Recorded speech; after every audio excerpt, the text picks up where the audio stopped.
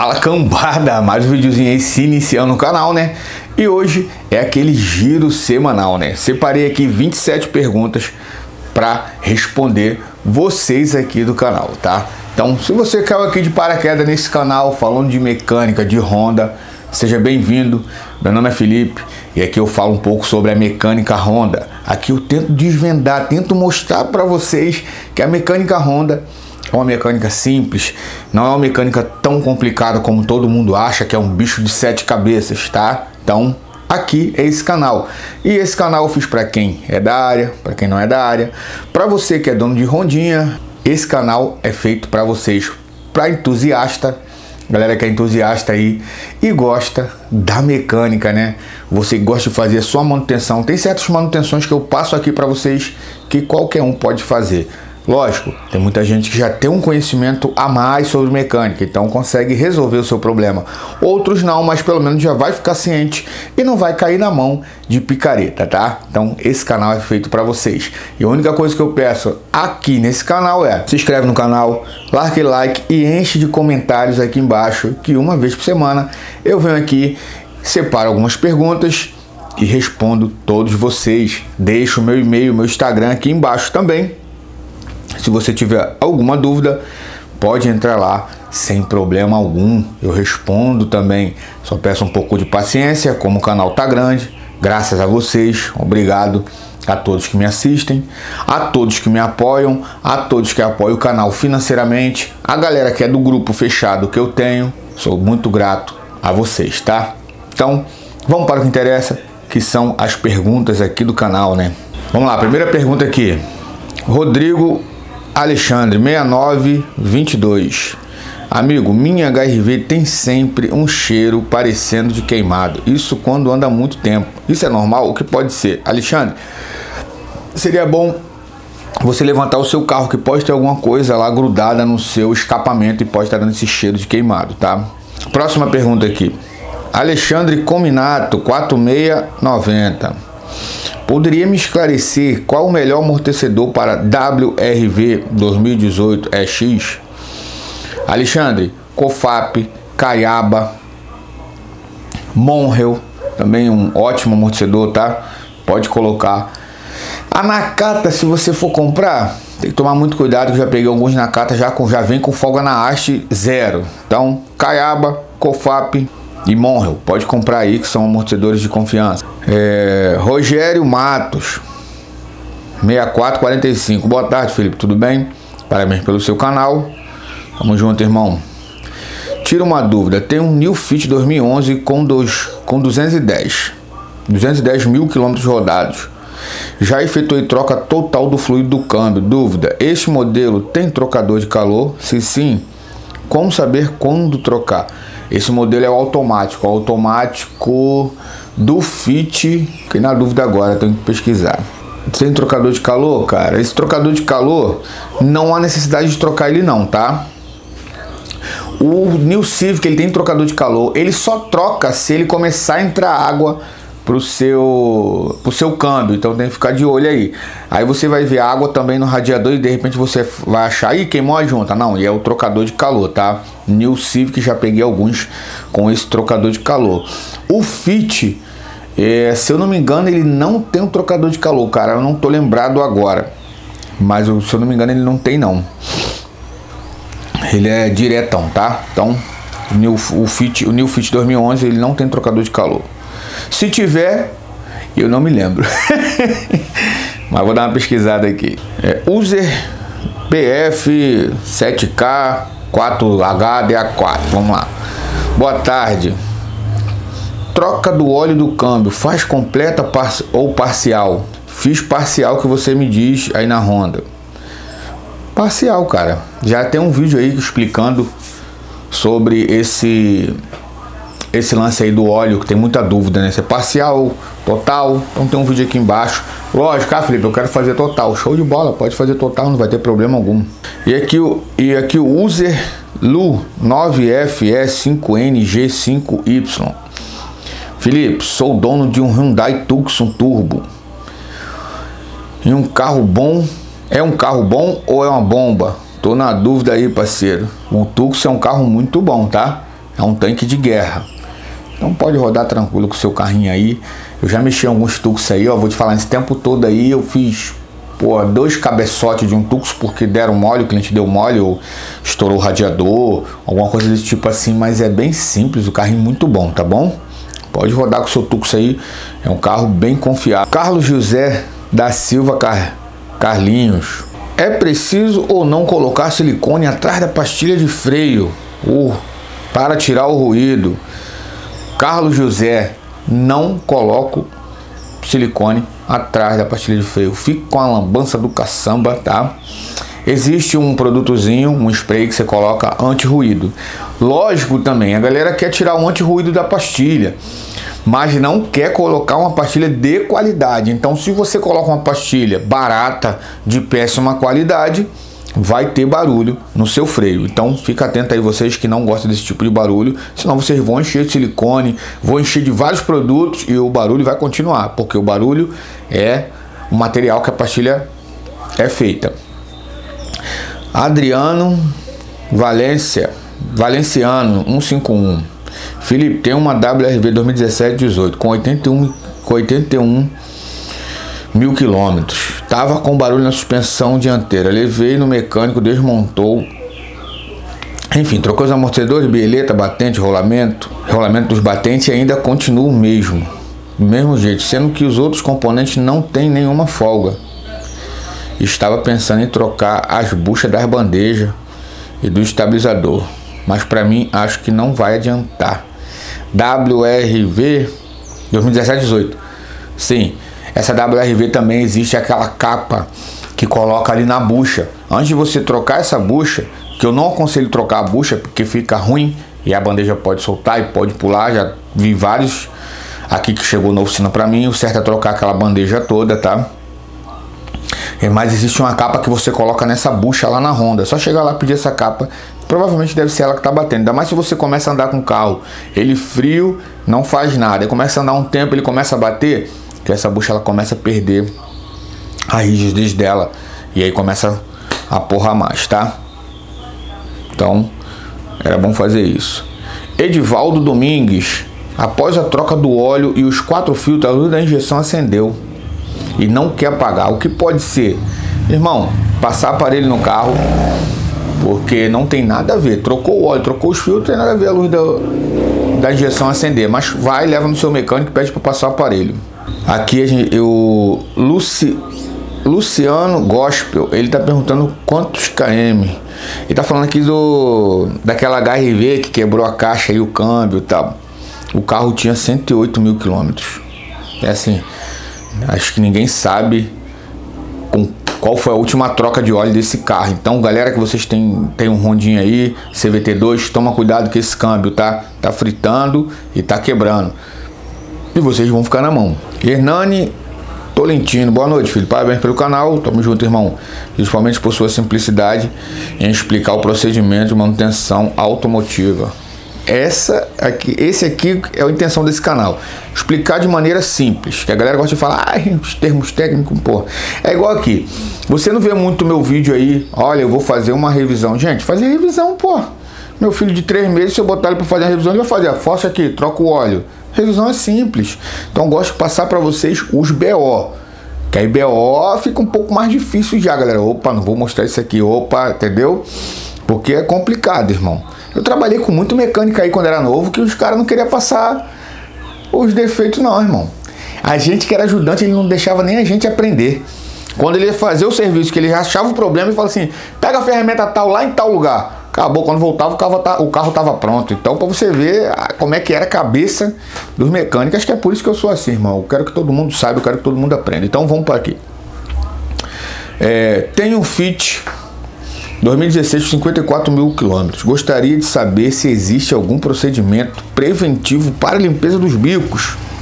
O meu carro está perfeito, não levo na concessionária, mas pela idade, pela quilometragem, fico com medo de ter grande prejuízo e não fazer a manutenção preventiva. Vamos lá. Hernani, seu carro tem 54 mil, irmão. Carro tá zero, para um Honda 54 mil é zero.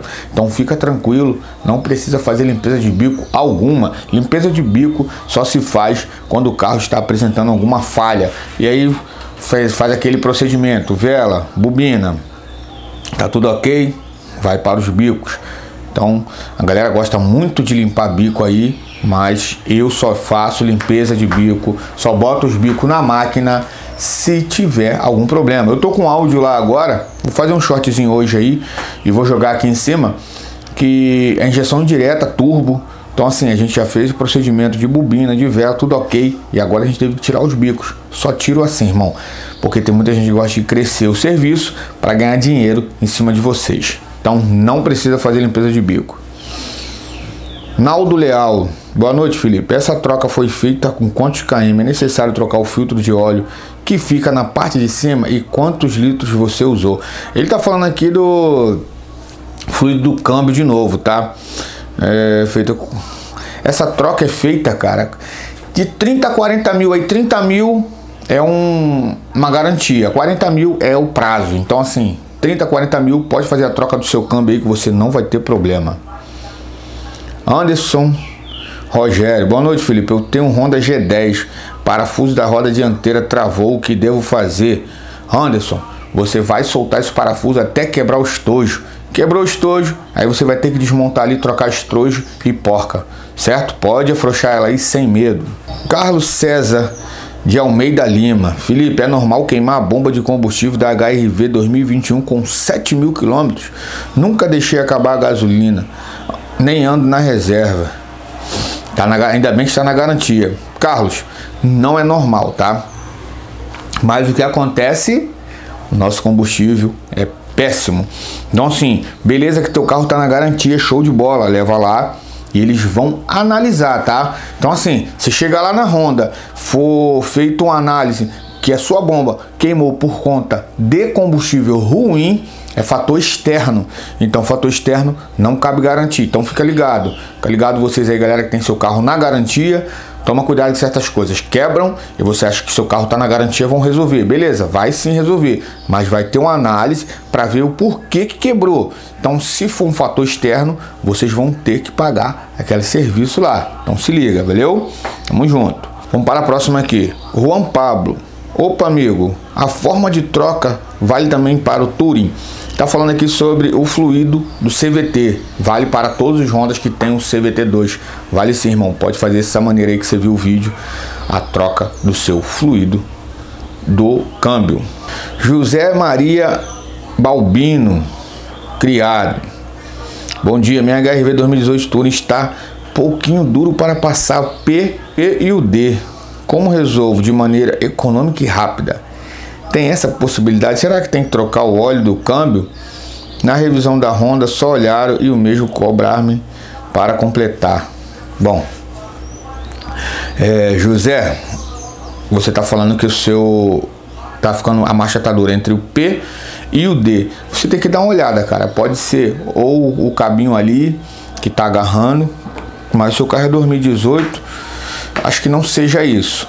Lá na frente você tem que dar uma olhada, tem que na, dar uma analisada. Creio eu que não seja dentro do câmbio, tá? Pode estar ali por fora. Então tem que teria que dar uma análise ali na sua alavanca, ver se está tudo direitinho, tem que desmontar aquele console e ver como que tá aquele sistema ali, se está prendendo assim. Outra também que faz isso, o sensor do pedal lá do freio, da luzinha do freio quando você pisa, ele faz travar, tá? Então fica atento.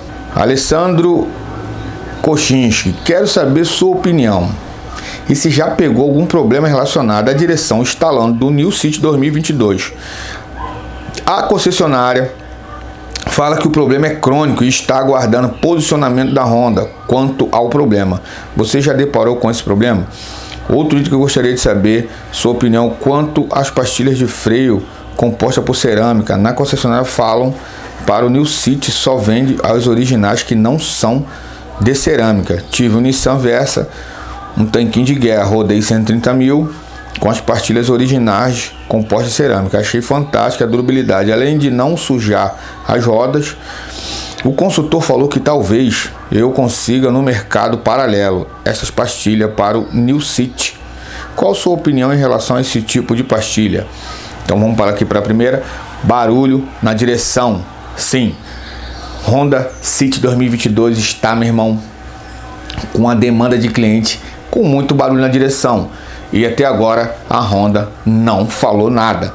Creio eu que eles vão se posicionar assim ou eles já estão estudando para saber que barulho é esse, da onde vem, para não deixar os clientes deles aí na mão, tá? Pode ficar tranquilo. Pastilha de cerâmica, pode colocar, você vai achar aí no mercado livre, tá? Você vai lá, bota sua pastilha de cerâmica lá, a marca que você quiser e você vai achar de boas. A pastilha é muito boa sim. Porém, a pastilha original também tem a durabilidade boa, mas ela já suja a roda, tá? E também a original é um preço é o zóio da cara. É, arroba 394707, bom dia, sou de Recife, Pernambuco, tamo junto, irmão. Meu Civic tem vez que coloco no P e fica travado. O botão do câmbio fica duro. E tenho que usar uma chave para destravar e tirar do P. Você pode me ajudar? Sim, você vai olhar esse sensor que eu falei aqui no, no último aqui.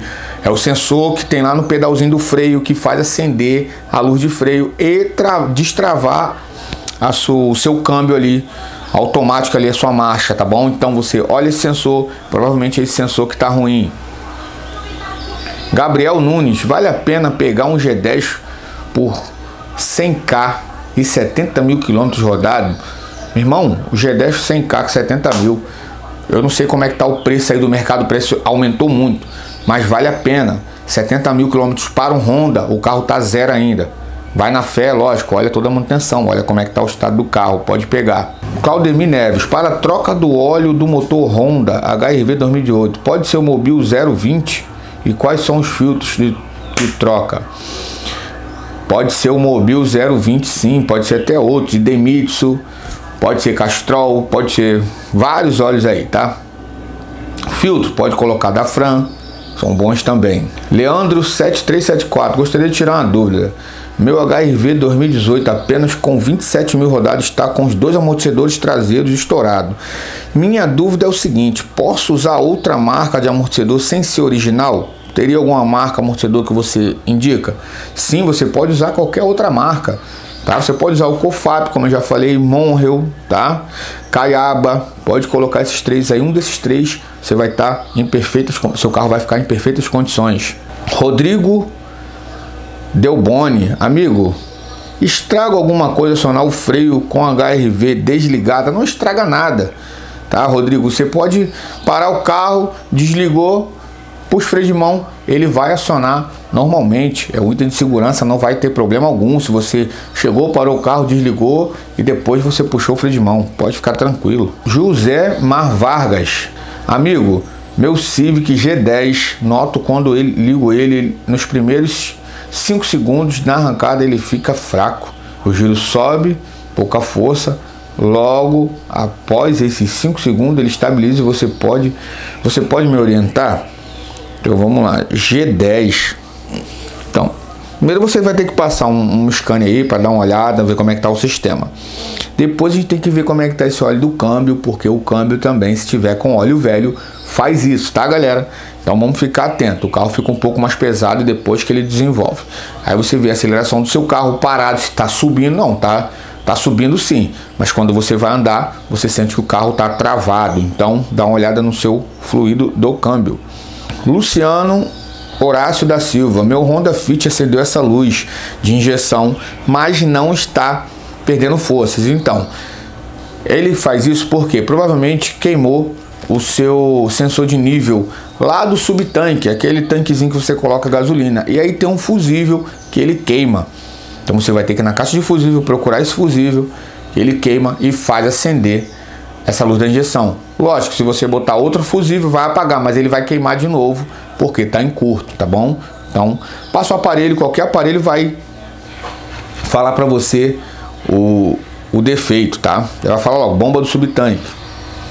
User Use JR9JZ3W4N. Como chama essa fita específica? Aqui a gente está falando sobre o barulho no vidro. E está querendo saber que fita que a gente usa. É uma fita anti-ruído. É só você chegar no Mercado Livre lá, botar lá fita anti-ruído, vai aparecer um monte. Que ela é uma fita de cola e na frente ela é pano, tá? Davidson Viana. Felipe, resumindo, tem um Honda City com 115 mil rodados. Tá econômico Motor silencioso, levei para as duas oficinas disseram que não precisa fazer a calibrar, calibração das válvulas, porque não está batendo válvula. Aí o X da questão, faz ou não faz a calibração das válvulas? E qual o benefício calibrar as válvulas? Então, vamos lá. Ele está falando sobre a regulagem dos tuchos das válvulas aqui, né? Do seu Honda City, está com 115 mil. Cara, você tem que dar uma olhada, porque não vai fazer barulho, não vai ficar batendo, não vai ficar batendo, não o Honda faz isso não, tá bom? Só que ela pode estar abaixo, pode estar frouxa ou ela pode estar apertada e é mínimo, tá? Isso faz o que? Faz o seu carro consumir, faz o seu carro perder desempenho. Então leve sim, de 40 40 mil, leve para verificar as válvulas do seu carro, que de repente não vão estar todas, mas vai ter um ou outro em cada cilindro que vai precisar de um ajuste nessa nessa válvula e vai dar muita diferença no seu carro. Rubens José Ribeiro Júnior, aqui ele está falando sobre o freio de mão né, da HRV elétrico. Toda vez que eu aciono o brake hold do meu HRV, começa a rodar, ele fica normal. No primeiro sinal que paro, ele segura o carro normal, mas quando acelero para sair, várias luzes do painel acendem e o brake hold não funciona mais. Aí toda vez que tenho que passar o scanner para zerar o erro. Aí toda vez tenho que passar o scanner para zerar o erro. E toda vez que aciono o brake hold, é essa novela. Até deixei de usar. Isso começou a acontecer depois de bater no meu carro. O que seria? Será que é o botão do freio de estacionamento? Alguma atualização? Pode me ajudar a descobrir o que é?